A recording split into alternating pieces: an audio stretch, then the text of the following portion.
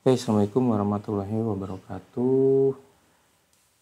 Uh, ini materi tambahan bagaimana kita menentukan swing level ya. Swing level itu dalam pembentukan tren um, adalah posisi posisi-posisi harga yang di pucuk. Jadi dalam trend up atau trend down, uh, untuk trend down mungkin seperti ini ya itu. Nah swing low-nya itu yang ini. Swing low ini swing high ini swing low lagi swing high lagi. Nah, ini swing low lagi swing high lagi dan seterusnya. Untuk yang uptrend juga kurang lebih sama seperti ini. Ini swing high swing low swing high swing low dan seterusnya. Oke. Tapi eh, bagaimana kita mengidentifikasi swing high, swing low yang valid ini uh, syaratnya apa gitu. Syarat syarat untuk dikatakan ini sebuah swing high atau swing low itu seperti apa? Seperti definisi sebelumnya, kita mengatakan bahwa sebuah tren itu terbentuk dari pergerakan harga seperti ini. Ini swing uh, swing low, ini swing high. Nah, swing high ini akan terdefinisi setelah swing low-nya di break oleh harga di web berikutnya yang ini gitu. Nah, selama swing low ini belum di break, ini uh, swing high yang ini belum ketahuan yang mana gitu. Karena mungkin aktualnya seperti ini ya. Nah, gitu. Terus misalkan di sini dan break Nah, setelah ini terbreak, oleh harga maka swing low-nya udah terdefinisi. Itu yang ini. High yang paling paling tinggi di antara web graph yang ini tapi selama ini belum di break maka swing high-nya ini belum ketahuan bisa yang mananya gitu. Tapi yang jelas yang lebih yang paling tinggi di antara semua pergerakan harga yang ada di sini yang copinya ini. Oke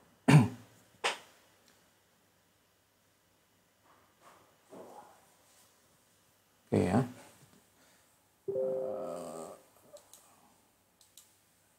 Oke, kita langsung aplikasikan ke chat aja langsung. Ini chat RTH USD 4 jam. Pertama kita mappingnya adalah IG yang paling tinggi di sini dan yang paling rendah di di web uh, bersangkutan gitu. Ini webnya dari sini dari 4400 ke 3500. Nah, di sini ada pergerakan harga naik. Sini. Apakah ini termasuk uh, web lagi swing high, swing high atau tidak? Ke sini. Baru ke sini. Tidak ya karena uh, web yang ini web yang ini itu tidak membreak level terendah dari uh, web yang pertama. Jadi ini tidak valid. Jadi ini bukan bukan bukan swing bukan swing level swing yang level yang benar yang ini. Kenapa? Karena web yang ini sampai sini eh sampai sini membreak level yang ini. Nah, nah web yang ini membreak level ini gitu ya. Bukan pula ke sini ini kan ada juga ini naik dulu turun. Enggak yang valid itu yang ini. Sini sini sini. Nah ini ada pergerakan naik dulu kemudian di break sama candle yang ini. Ini valid sebuah web. Atas sini. Terus sini. Kemudian ke sini apa ke sini ke sini bisa atau terus ke sini salah ya. Tapi yang benar ke sini. Oh ya ini mesti diukur ya. Ini antara yang ini dengan candle yang sebelah sini tinggian mana? Kalau misalkan tinggian yang ini berarti webnya ada di sini gitu. Nah dari sini ini sudah nyampe low yang baru. Nah dari sini ini high-nya sini. Karena yang yang ini kalau kalau low yang ini lebih rendah dari low yang yang candle yang sebelah sini ini harusnya valid untuk jadi sebuah web baru. Cuman ini low-nya tidak lebih rendah dari ini jadi ini tidak valid. Nah yang valid yang mana? Yang ini. Kenapa? Karena di di di web yang ini di web yang sebelah sini itu harganya membreak low terakhir yang ada di sini. Nah, di break sama ini. Oke. kemudian dari sini ke mana lagi? Nah ini selama dari dimulai dari sini ini tidak ada satupun candle yang uh, membreak level atas maupun bawah. Jadi ini sedang sideways. Sideways terus. Nah, yang terakhir baru ada breakout di sini. Berarti high-nya itu ada di sini swing low, eh, swing high-nya. Nah, yang ini adalah yang paling tinggi dibanding uh, high-high yang lain. Baru ini ke sini. Nah, ini berarti masih downtrend ya.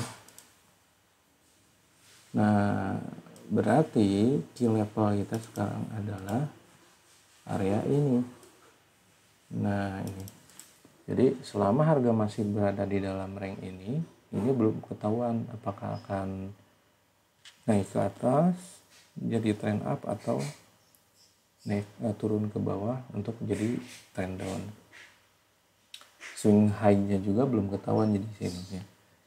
karena bisa saja ini Eh, naik break ke atas jadi membuat tren baru untuk uptrend atau ke bawah membentuk uh, tren baru untuk downtrend. Ini adalah swing high atau swing low yang baru di sini nanti. Oke. Okay. itu ya. Jadi uh,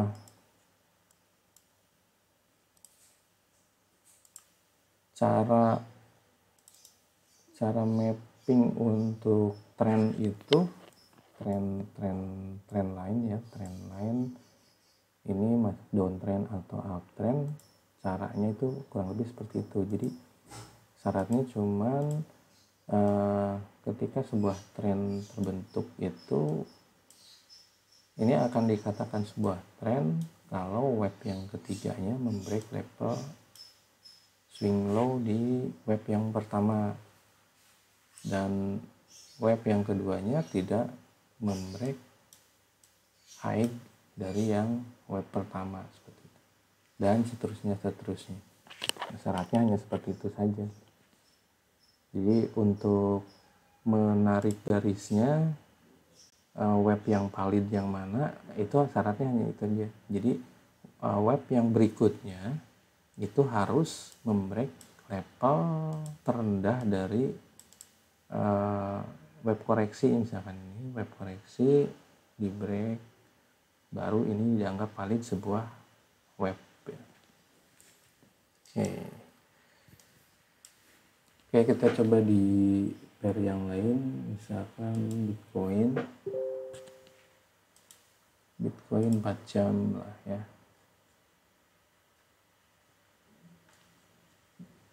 Bitcoin 4 jam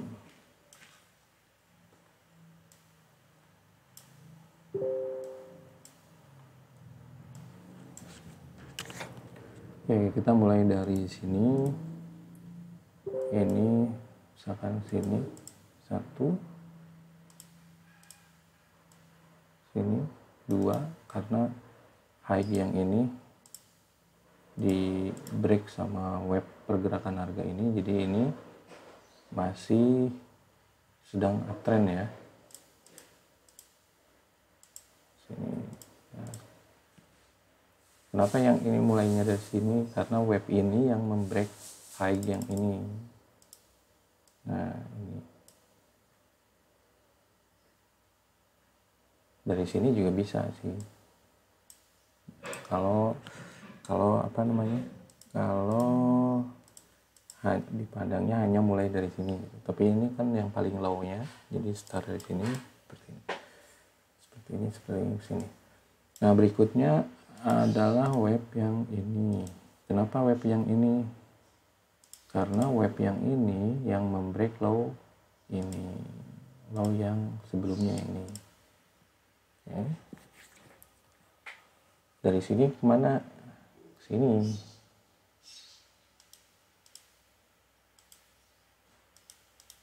Karena yang ini yang membreak low di sini. Sampai mana?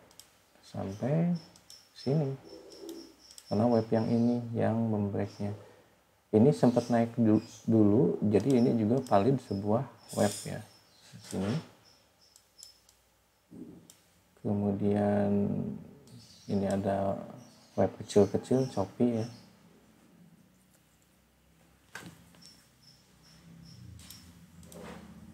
Web yang ini validnya ke mana? Ke sini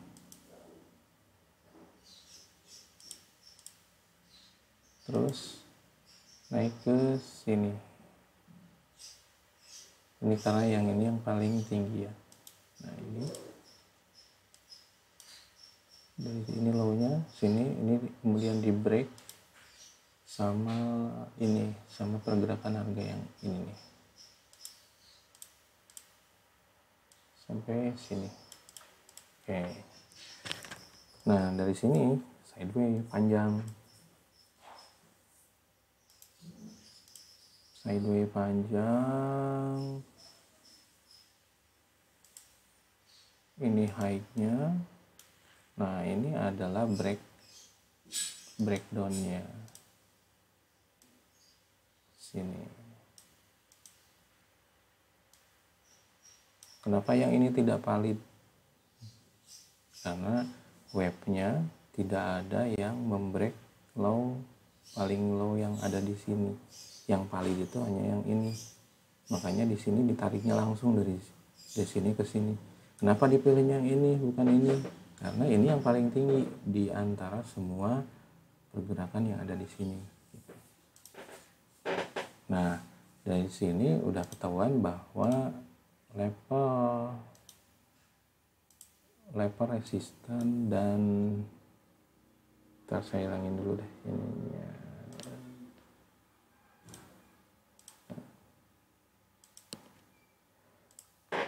dari sini udah ketahuan bahwa web yang ini tuh sedang membentuk trend down ya. Masih masih dalam bentuk uh, masih dalam tren downtrend untuk uh, di H4 ke atas. Jadi saat ini tuh harga sedang sideways kalau uh, dari high time frame sedang downtrend berarti ya kita lebih prefer untuk cari short kan ya. Dengan key levelnya ada di atas ini di 43.000 ya. Kalau selama 43.000 belum di break berarti trennya masih down masih downtrend kecuali kalau 43.000 ini di break. Baru eh, trennya sudah berubah untuk trend jadi nantinya bentuk trennya akan seperti ini. Misalkan swing high-nya di mana? Dia turun dulu sampai sini kemudian up lagi gitu misal. Nah baru ini adalah swing high-nya nah selama low yang ini tidak di break oleh harga koreksi berikutnya dari dari web yang ini web ini naik misalkan sampai sini kemudian break break level 43.000 Nah, maka ini valid sebuah web baru. Setelah apa? Setelah setelah harga yang turun dari sini koreksi tidak membreak level yang paling bawah dan dia balik lagi ke atas membreak level ini. Baru ini dianggap sebuah web baru dan ini web satu lagi. Dan dia akan membentuk seperti ini. Oke oke gitu ya.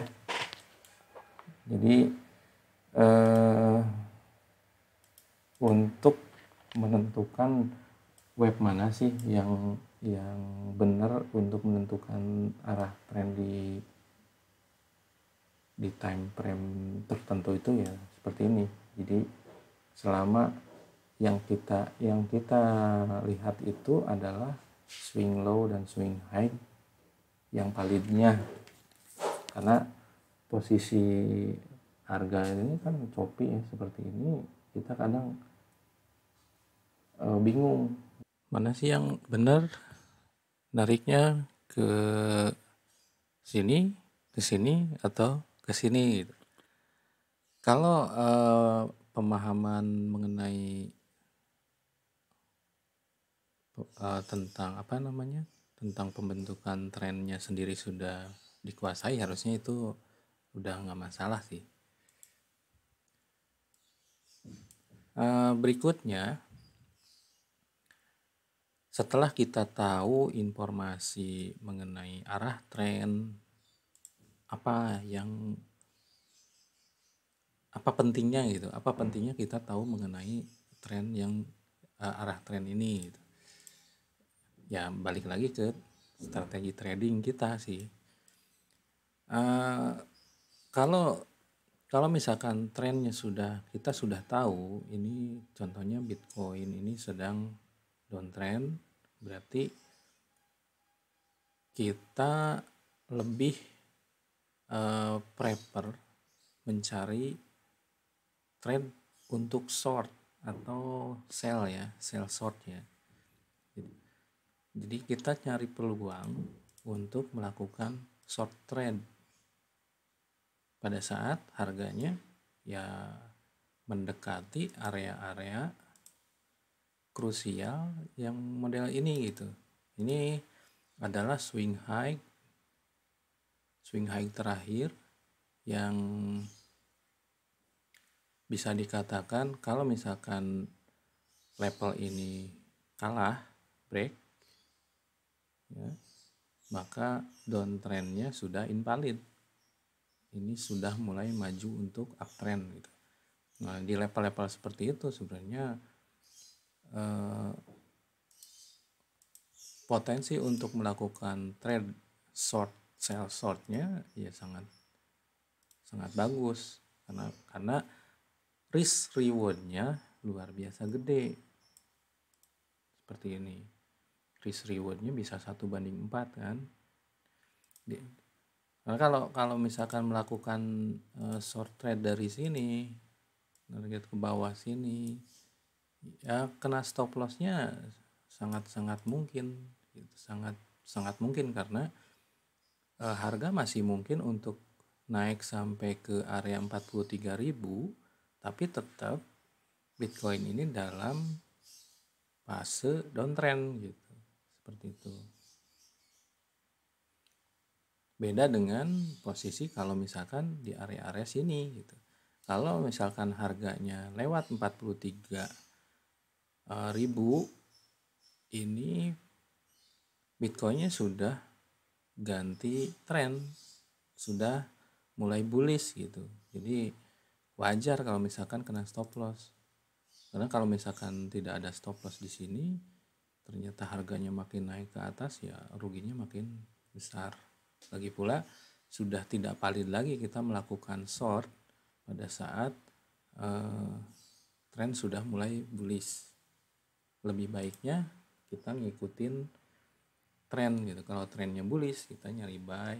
Kalau trennya bearish atau sedang downtrend kita nyarinya short oke seperti itu. Uh, terus ada satu lagi sebenarnya jadi kalau kalau misalkan swing low-nya kemungkinan sudah terbentuk di low-nya contohnya yang ini Bitcoin low-nya sudah ada nih di sini. Nah, ini adalah web koreksi berikutnya kan web koreksinya. Ini web koreksi.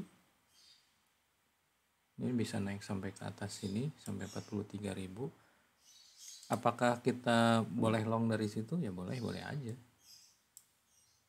Karena web koreksi juga sebenarnya tren-tren juga tapi trennya itu ada di low time frame. Nah, contohnya kita ambil dari sini ini web satunya ini web 2 dan web 3 break web 1 yang ini ya di pucuknya jadi ini sudah bisa valid dianggap bahwa ini sudah terbentuk trend up di low time frame. Invalidasinya di mana? Invalidasinya ada di sini, di bawah sini. Dia 30.000. Ini masih valid sebagai sebuah uptrend ya. Jadi ini web 1, web 2, web 3-nya break web 1-nya di 35500 jadi ini adalah uh, uptrend di local time frame di low time frame.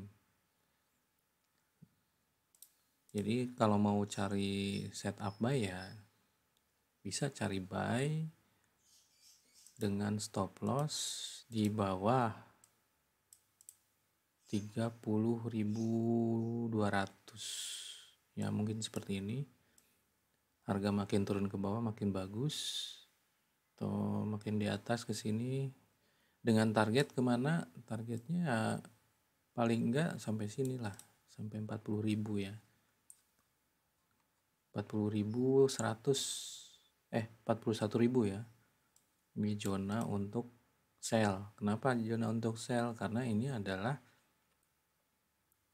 swing level high high swing levelnya untuk uh, downtrend ya downtrend di web terakhir ini pasti banyak yang short di sini karena high time frame-nya memang masih downtrend gitu. Ya. seperti itu jadi long bisa dari bawah sini kalau misalkan dekat-dekat ke swing low ya kita nyari long dari sini untuk naik ke atas. Kalau dekat-dekat ke swing high-nya kita nyari short. Ya kurang lebih lah kurang seperti itu gitu. Nah kalau menggunakan uh, metode HHLL untuk trend following nah ini masih simpel banget. Kalau misalkan di low time frame low time frame ini kan web 1 ya, web 1, web 2, web 3. Nah, kita nyarinya nyari polanya ada di sini nih, di web 2, web koreksinya. Kita turunin sampai 15 atau 5 menit ya. Web 2. Nah, ini. Web 2-nya ada di sini. Dari sini ke bawah sini. Yang mungkin sebagai HHLL mana ini satu dan dua pucuk yang ini. Nah H L H H L L nya ke mana? L L nya bisa ke sini bisa lebih tinggi lagi. Misalkan ada ada lagi ke atas sini bebas gitu. Entry nya di mana? Entry nya ada di sini di H nya sama di low sini targetnya ke H minimal di sini lah paling enggak ini H gitu. Lebihnya sisanya ke mana? Ke ke sini ke atas sini ke 41.000 atau lebih atas lagi. Ya nggak tahu sih ini harganya bakal ke mana tapi kalau misalkan berstrategi kita bisa entry dari sini dari sini kena TP1 SL kita pindah ke harga open. Jadi kalaupun misalkan harga balik lagi kita nggak rugi ya. Seperti itu.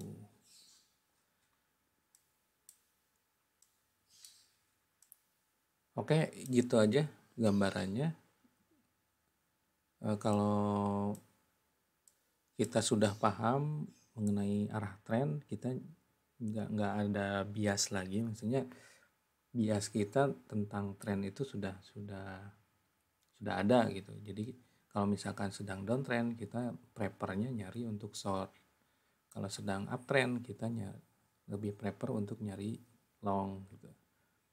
Nah ini bitcoin saat ini masih dalam downtrend tren turun. Jadi prefernya ya sebaiknya nyari short walaupun memang di, di low time frame kita bisa nyari long dari bawah sini untuk ke atas. Cuman tekanan untuk selnya pasti besar. Lebih lebih ber, lebih riskan untuk mencari long pada saat downtrend dibandingkan nyari short gitu. Oke gitu aja ya. Mudah-mudahan manfaat. Assalamualaikum warahmatullahi wabarakatuh